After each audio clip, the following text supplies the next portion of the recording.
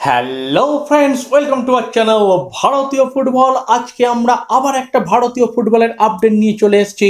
হ্যাঁ বন্ধুরা, আপনারা ঠিকই ধরেছেন ইন্টার কন্টিনেন্টাল কাপ কালকের পরই, অর্থাৎ পরশু থেকে কিন্তু খেলা শুরু হচ্ছে এবং এই ইন্টার কন্টিনেন্টাল কাপে আমাদের ভারতের কোন কোন প্লেয়ারের দিকে আমাদের নজর রাখতে হবে, সেইটা নিয়ে আলোচনা করে এসেছি এবং আমার পছন্দের বা আমি এতদিন ধরে যে ট্যাকটিস নিয়ে আলোচনা করছি, সেইখানে কিন্তু কোন সাতটা প্লেয়ারের উপর আমরা নজর দেবো। সেই দিকে একটু আমরা কিন্তু ব্রিফলি আলোচনা করব। তো কোন কোন প্লেয়ারের দিকে নজর রাখতে হবে এবং কারা ভারতীয় ফুটবলের ডার্ক হর্স হতে চলেছে অর্থাৎ কালো ঘোড়া হতে চলেছে, কার উপর বাজি রাখতে পারি, সেই নিয়ে আজকে সমস্ত আলোচনা করব। কিন্তু তার আগে ভারতীয় ফুটবলের বেশ কিছু কিন্তু আপডেট আপনাদের দেবো।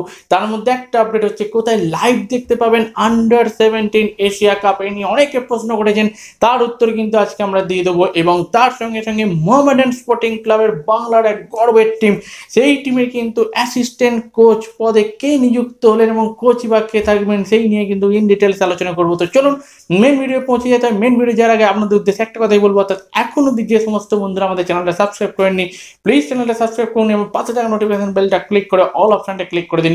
তাহলে আমাদের ভিডিও নোটিফিকেশনের সঙ্গে সঙ্গে আমাদের ভিডিওগুলোও কিন্তু আপনারা আগে আগে দেখতে পাবেন। তো বন্ধুরা প্রথমেই আমরা আলোচনা করব আমাদের বাংলার মোহামেডান স্পোর্টিং ক্লাবকে নিয়ে। মোহামেডান স্পোর্টিং ক্লাবের একটা আপডেট জানিয়ে দিই, যে আগের বছরের শেষ টাইম থেকে কিন্তু মেহরাজউদ্দিন ওয়াডু কোচিং করাচ্ছিলেন। সেই মেহরাজউদ্দিন ওয়াডুই কিন্তু কোচিং পদে আছেন।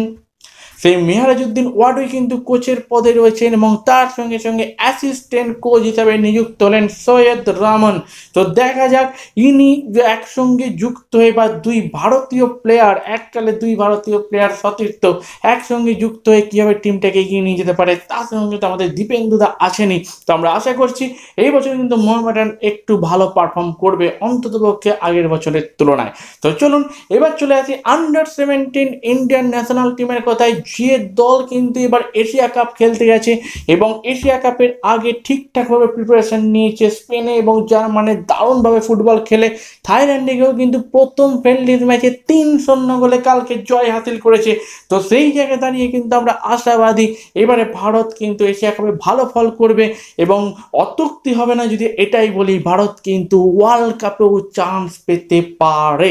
তো এবার চলুন মেন ভিডিও চলে যায় যেখানে আজকে আমরা আলোচনা করব আসন্ন ইন্টার কন্টিনেন্টাল কাপে ভারতের কোন প্লেয়ারদের ওপর আমরা বাজি ধরতে পারি? দেখুন, ইগর স্টিমেক নিজেই বলেছেন যে বেশ কিছু ইয়াংস্টার আছে যাদেরকে নিয়ে কিন্তু তিনি অনেক আশাবাদী এবং তার থেকে বড় ব্যাপার হচ্ছে তাকে কোন মানে কাকে বাদ দিয়ে কাকে খেলাবেন সেই নিয়ে কিন্তু একটা লড়াই কিন্তু চলেই যায় এবং এর থেকে ভালো কিছু হতে পারে না।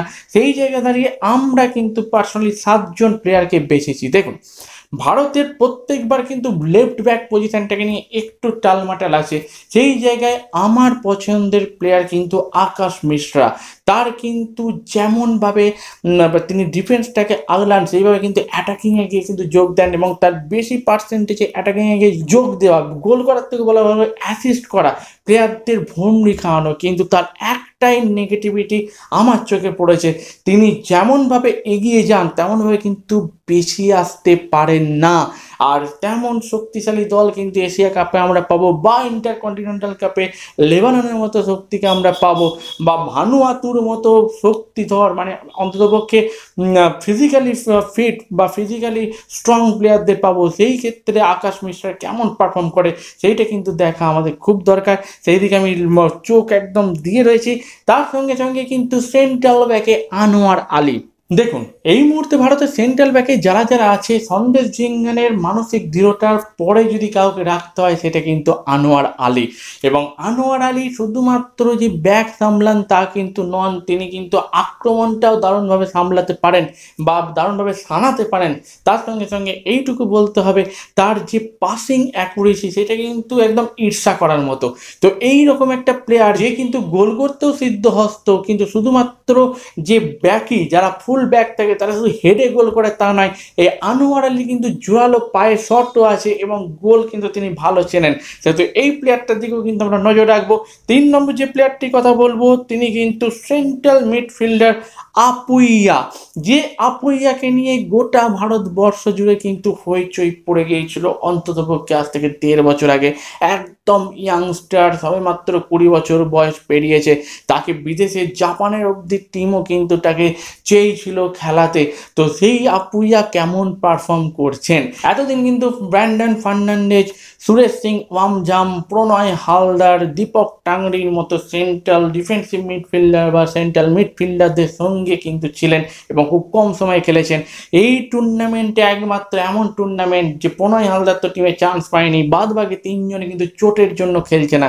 এই জায়গায় একা কীভাবে সেন্ট্রাল মিডফিল্ড অঞ্চলটা তিনি সামলান, সেইটাই কিন্তু আমাদের দেখার। এবং তিনি গোল করতেও খুব ভালোবাসেন। তো সেই দিকে আমরা লক্ষ্য রাখব এবং ইনি যদি ক্লিক করেন, তাহলে বলতেই পারি ভারত কিন্তু হাসতে হাসতে ইন্টার কন্টিনেন্টাল কাপ জিততেই পারে।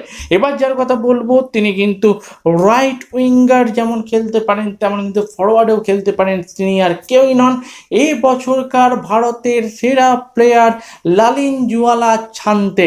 হ্যাঁ এই লাল জুয়ালা ছানতে ভারতের হয়ে কিন্তু বেশ কয়েক বছর খেলছে, কিন্তু এখন অবধি তার সেই নামের কিন্তু সুবিচার করতে পারেনি। অবশ্যই ইয়াং প্লেয়ার তার এখন অনেক বছর বাকি আছে ভারতীয় দলের হয়ে খেলা ক্লাবের হয়ে খেলা, কিন্তু তারপরেও আমি পার্সোনালি চাই এই টুর্নামেন্টে যেন তিনি ছাপ রেখে দিতে পারেন। এবং এরপর যে দুজন প্লেয়ারের কথা বলব, দুই উইঙ্গার একদিকে অবশ্যই নন্দা কুমার প্রথমবারের জন্য ভারতীয় দলে চান্স পাওয়া এবং আর একজন নাওরে মহেশ সিং শুধুমাত্র একবার এর আগে ভারতের দলের হয়ে চান্স পেয়েছে। এই দুটো প্লেয়ারে কিন্তু দারুণ পোটেন্সিয়াল আছে। নন্দা কুমার যেমন লেফট উইংও খেলতে পারে লাইট রাইট উইংও খেলতে পারে কিন্তু মহেশ সিং নাওরমকে কিন্তু আমরা দেখতে পেয়েছি তিনি লেফট উইং দিয়ে অসাধারণ খেলেন এবং বলতে কোথাও বাধা নেই এই মুহূর্তে লেফট উইঙ্গার লিস্টন কোলাসো বা আশিক কুরনিয়ানের সঙ্গে কিন্তু দারুণ টক্কর দিচ্ছেন এবং আমি আশাবাদী ইগর স্টিমাকেরও পছন্দের নওরে মহেশ সিং কিন্তু প্রথম থেকেই হয়তো দলে খেলবে এবং তার ইম্প্যাক্টটা দেখার কিন্তু জন্য আমি মুখিয়ে আছি। গত কম্পিটিশানে অর্থাৎ ট্রাই নেশন কম্পিটিশানে কিন্তু নাওরে মহেশ সিং একটা ম্যাচ টোটাল সুযোগ পেয়েছিল, একটা ম্যাচে একটুখানি সুযোগ পেয়েছিল, তার মধ্যে কিন্তু নিজের যাচ্ছি নিয়েছে। এই ম্যাচগুলোতেও বা এই কাপে যদি যাচ্ছে না পারে, এর থেকে তো ভালো কিছু হতে পারে না। তাই নাওরমের ক্ষেত্রেও যেমন ভারতের ক্ষেত্রেও তেমন। ঠিক উল্টো দিকে নন্দা কুমার বেশ কয়েক বছর ধরে কিন্তু ভারতীয় সার্কিটে খুব ভালো ফুটবল খেলছে, কিন্তু প্রথম বছর জাতীয় দলের চান্স পেয়েছে। এবং আমি দেখার জন্য বসে আছি যে তিনি যেমনভাবে ক্লাব টিমের হয়ে খেলেন, তেমনভাবে দেশের হয়ে খেলতে পারছেন কি না জানি না কতটা সুযোগ পাবে, তবে আমি আশা করছি তিনি কিন্তু সুযোগ পেতে পারেন, যেহেতু রাইট উইংয়ে কিন্তু সেইভাবে প্লেয়ার নেই। সেইভাবে প্লেয়ার নেই বলতে আমি বলছি, মনবীর সিং কিন্তু বাদ আছে। এই জায়গায় কিন্তু তার কাছে একটা সুযোগ চলেই আসতে পারে। এবং একদম শেষ কথা যা বলব, সেই তো ঈশান পণ্ডিতা, আমার একজন খুব পছন্দের প্লেয়ার তিনি ঠিকঠাকভাবে কিন্তু গেম টাইম পান না। এই প্রথম ভারতীয় টিমে হয়তো পুরো টাইম পেতে চলেছেন। তার কারণ এই টিমে শিবাশক্তি নেই, মনবীর সিং নেই, সুনীল ছেত্রীর সঙ্গে কেউ যদি স্টার্ট করেছে, ঈশান পান্ডিতা হতে পারে এবং সুনীল ছেত্রী পুরো যে নব্বই মিনিট খেলবে সেটাও নাও হতে পারে। সেহেতু কিন্তু পুরো নব্বই মিনিট খেলার একটা সুযোগ থাকছে ঈশান পান্ডিতার এবং ঈশান পান্ডিতা নিজেই বলেছে যে তিনি ভারতীয় সার্কিটে কিন্তু অনেক কিছু দেখাতে চলেছেন। তো দেখা যাক তিনি সেটা করতে পারেন কিনা। যদি করতে পারেন, তাতে তো আমাদের মতো ভারতীয় ফুটবল প্রেমীদের কাছ থেকে এর থেকে বড় কিছু পাওনা হতে পারে না। কারণ আমরা অনেকেই কিন্তু খুঁজছি শুনি যে পরে কে?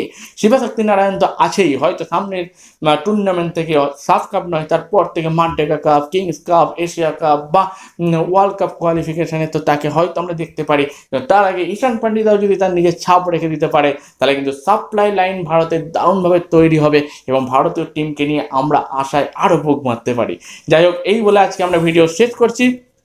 কালকে আমরা নিয়ে আসব এমন ভিডিও এই ইন্টারকন্টিনেন্টাল কাপে ভারতের প্রথম এগারো কি হতে চলেছে সেই নিয়ে ইন ডিটেলস আলোচনা করব, কেন, কিসের জন্য, কীভাবে সব কিছু নিয়ে আলোচনা করব। এখনকার জন্য ভিডিও এখানে শেষ করছি।